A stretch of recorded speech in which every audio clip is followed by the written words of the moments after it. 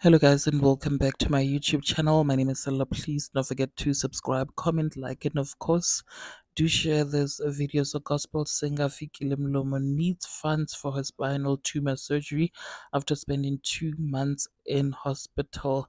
Now philanthropist B.I. Phakathi and gospel singer Tigla Zungu are leading a campaign to help raise funds for the wheelchair-bound musician Ufikile Mlomo surgery. You guys the award winning gospel musician has spent two months in hospital after losing her mobility.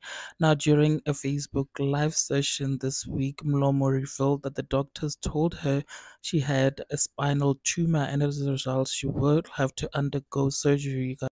According to the American Association of Neurological Surgeons, a spinal tumor is an abnormal mass of tissue within or surrounding the spinal cord and or spinal column.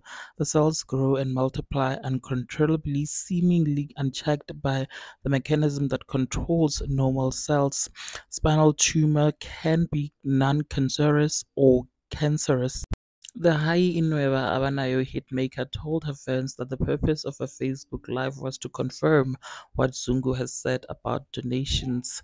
Zungu, who is popu- who's popularly known for his hit song Kana Umusa, will be hosting a crowdfunding event outside the Workshop Shopping Center in Durban from Lomo to raise 50,000 or more for her surgery.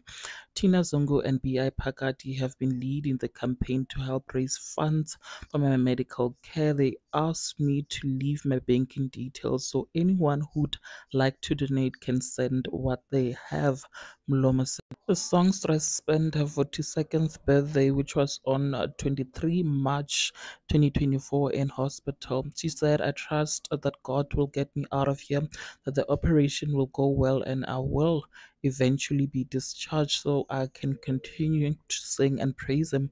I will never stop worshiping Him. I will never stop singing. Mlomo told her fans last month that she did not get injured, nor was she in an accident. The singer said that her lower body became numb, causing her to lose mobility in her legs. I used to walk I use a walker or a wheelchair. People mustn't be surprised and think that I am acting because people like thinking gospel star, gospel stars are acting when they tell their stories. The singer said. She spoke to an online blog called Zimojale Zinto. The artist said that she is no longer in pain. She said, and I quote, My whole body was in pain, and the next thing I fainted. I was rushed to the hospital, and suddenly I couldn't walk. I know this is the Lord's will, and I am leaving everything in His hands and that of the doctors. I know whatever I'm going through, the Lord remains in control. I know He won't leave nor forsake me. I have prayed about it, and I am not sad. I remain positive whatever the results come back as she explained to you guys. Now, there you have it. What are your thoughts? Please do share them with me in the comment section.